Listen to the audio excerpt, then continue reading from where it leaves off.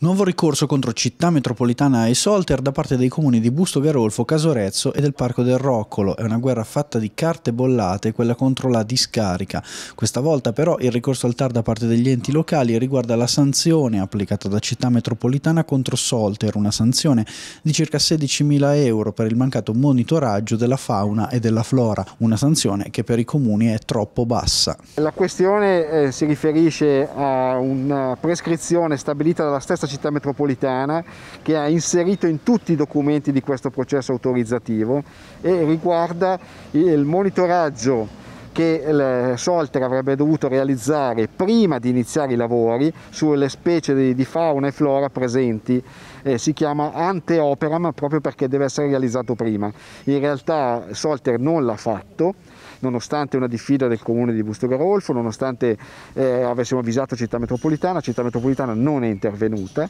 soltanto successivamente Solter ha presentato un documento parziale per sua stessa ammissione, cui dice che chiaramente non, non è stato possibile fare un monitoraggio completo perché ormai avevano già tolto tutto, e Città Metropolitana su nostra insistenza è intervenuta con una sanzione che è francamente molto morbida, quasi al di sotto del minimo stabilito per legge. Questa continua diciamo, arrendevolezza di fronte a Solter da parte di Città Metropolitana fa pensare eh, che, che, ci potrebbe anche essere qualche elemento eh, che configuri addirittura il reato di omissione dati d'ufficio.